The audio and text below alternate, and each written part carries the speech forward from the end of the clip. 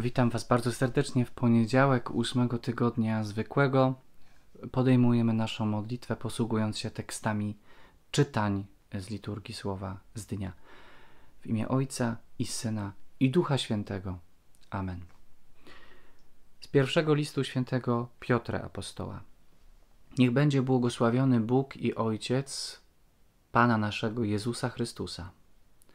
On w swoim wielkim miłosierdziu przez powstanie z martwych Jezusa Chrystusa na nowo zrodził nas do żywej nadziei, do dziedzictwa niezniszczalnego i niepokalanego i niewiętnącego, które jest zachowane dla was w niebie.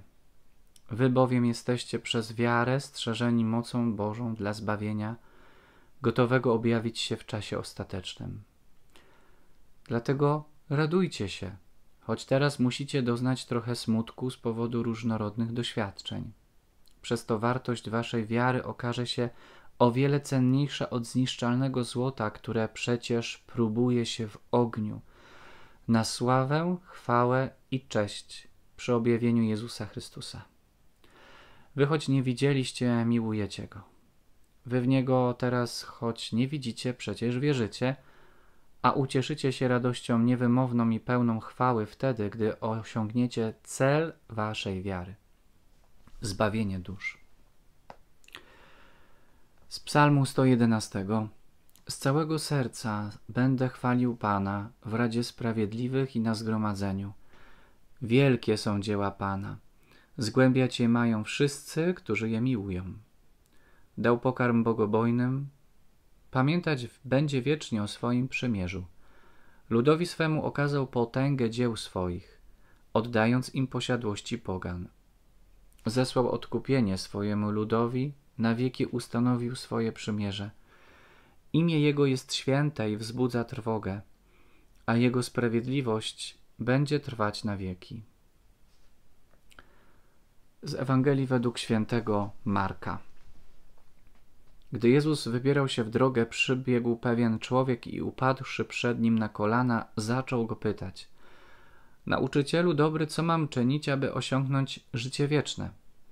Jezus mu rzekł: Czemu nazywasz mnie dobrym? Nikt nie jest dobry, tylko sam Bóg. Znasz przykazania. Nie zabijaj, nie cudzołóż, nie kradnij, nie zeznawaj fałszywie, nie oszukuj, czcij swego ojca i matkę. On mu odpowiedział: Nauczycielu, wszystkiego tego przestrzegałem od mojej młodości. Wtedy Jezus spojrzał na niego z miłością i rzekł mu: Jednego ci brakuje. Idź, sprzedaj wszystko, co masz i rozdaj ubogim, a będziesz miał skarb w niebie. Potem przyjdź i chodź ze mną. Lecz on spochmurniał na te słowa i odszedł zasmucony, miał bowiem wiele posiadłości. Wówczas Jezus spojrzał dookoła i rzekł do swoich uczniów: jak trudno tym, którzy mają dostatki, wejść do Królestwa Bożego. Uczniowie przerazili się jego słowami, lecz Jezus powtórnie im rzekł: Dzieci, jakże trudno wejść do Królestwa Bożego tym, którzy w dostatkach pokładają ufność. Łatwiej jest wielbłądowi przejść przez ucho igielne, niż bogatemu wejść do Królestwa Bożego. A oni tym bardziej się dziwili i mówili między sobą: Któż więc może być zbawiony? Jezus popatrzył na nich i rzekł: U ludzi to niemożliwe, ale nie u Boga, bo u Boga wszystko jest możliwe. Modlitwa spontaniczna.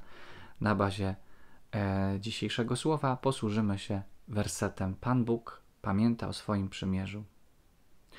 Będziemy powtarzać to zdanie.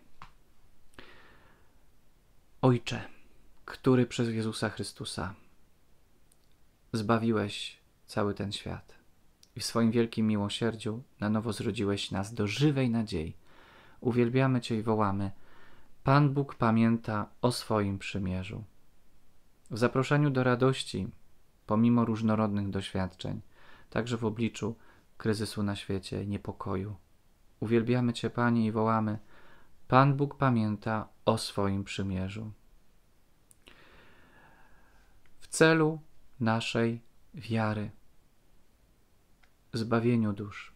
Uwielbiamy Cię, Panie, i wołamy: Pan Bóg pamięta o swoim przymierzu, wielkich dziełach, które dokonujesz, Panie, w daniu, w darowaniu nam pokarmu, w tym, że Ty pamiętasz wiecznie o swoim przymierzu, pokazujesz potęgę dzieł swoich.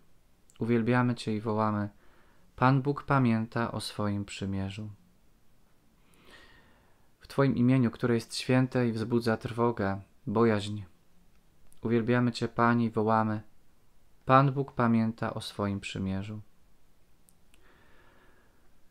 W tej rozmowie, w tym dialogu pewnego człowieka z Jezusem, gdzie Jezus y, mówi o wolności od dóbr materialnych. Uwielbiamy Cię, Panie, i wołamy: Pan Bóg pamięta o swoim przymierzu. W tym wyznaniu Jezusa, że trudno bogatemu wejść do Królestwa Niebieskiego. Uwielbiamy Cię, Panie, i wołamy: Pan Bóg pamięta o swoim przymierzu. W tym, że dla Boga nie ma rzeczy niemożliwych.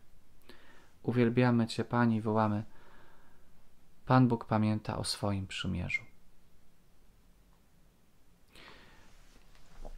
Zaobserwowałem bardzo ważną rzecz, myślę, że dla wielu z nas równie ważną, że czytania prowadzą nas. Prowadzą nas w obliczu wydarzeń na świecie. I tak jak wczoraj mówiłem o tym, że zwycięstwo pochłonęło śmierć, tak dzisiaj słyszymy o nadziei i o tym, że dla Boga nie ma rzeczy niemożliwych. Uchwyć się dzisiaj tych słów i zapraszam do ciszy. Co Bóg chce Tobie powiedzieć? Pomyśl o tym, później podzielisz się tym w komentarzu. Mam nadzieję.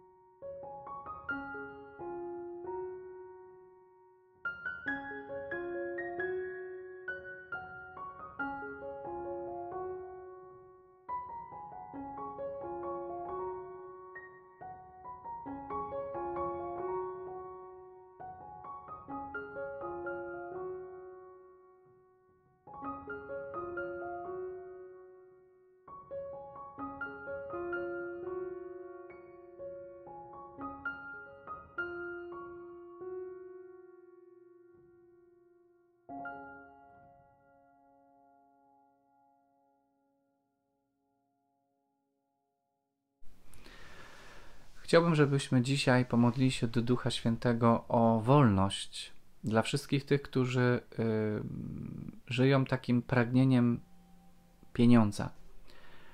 E, wiele spraw na świecie mm, dzieje się w taki niewłaściwy sposób, dlatego że ludzie dążą do y, wpływu, do zysku i także wokół nas, y, nawet gdzieś blisko nas.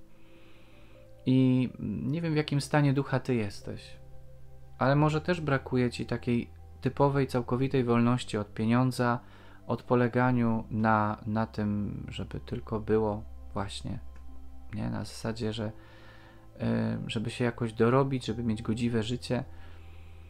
E, bądźmy wolni od takiego myślenia, a bardziej przywiążmy się do tego, że to Bóg daje nam właśnie wszystko. Wszystko jest łaską, że gdyby nie On, to nie mielibyśmy wokół siebie tego wszystkiego, co mamy. E, o taką wolność modlimy się dzisiaj do Ducha Świętego. Duchu Święty, proszę Cię, abyś przemieniał przede wszystkim serce każdego z nas, serce osób, które też oglądają dzisiaj ten film, aby nie przywiązywali się do dóbr materialnych, które dają jakieś poczucie szczęścia i spełnienia, ale na jakiś czas. Bo rzeczy materialne też i zużywają się, i psują, nie są trwałe. Trwałe jest to, co mamy w niebie. Trwałe jest, trwała jest przede wszystkim miłość. Miłość przetrwa wszystko. I proszę Ciebie, Duchu Święty, o szczególny dar miłości dla tych wszystkich, którzy y, są zaślepieni przez pieniądz, przez władzę. I proszę też dla każdego z nas o to, bo nikt z nas nie jest wolny od takiego myślenia, e, co będę miał z tego czy z tamtego. Proszę Cię, Panie, Duchu Święty, przemieniaj serca osób, które właśnie myślą nie tak, jak dzisiaj nam mówi Jezus w Ewangelii, a przede wszystkim przemieniaj serce każdego z nas. Amen. Dzisiaj zostawiam Was właśnie z tym cytatem e, u Boga wszystko jest możliwe. Jeżeli Bóg y, sprawił tak wielkie rzeczy i cuda na kartach Pisma Świętego, to jest w stanie dać Ci wolność, której na przykład nie masz dzisiaj. Y, pomyśl o tym jeszcze przez ten dzisiejszy dzień. Dobrego, błogosławionego dnia. Z Panem Bogiem.